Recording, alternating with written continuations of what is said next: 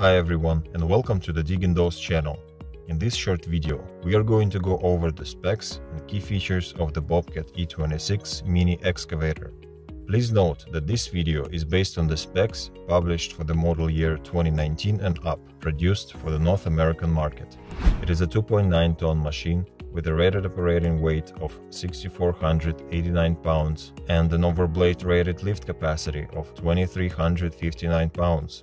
Bobcat E26 has an arm digging force of 3,547 pounds of force and a bucket breakout force of 5,652 pounds of force. Its maximum digging depth is 9 foot 5, maximum dump height 10 foot 4, and maximum reach at ground level 16 feet.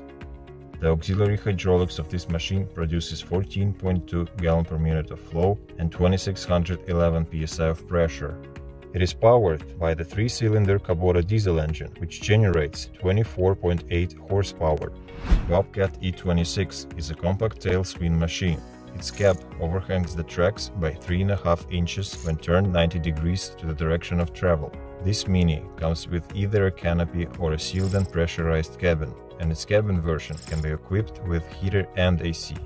This machine has an overall length of 170.4 inches and a height of 96 inches.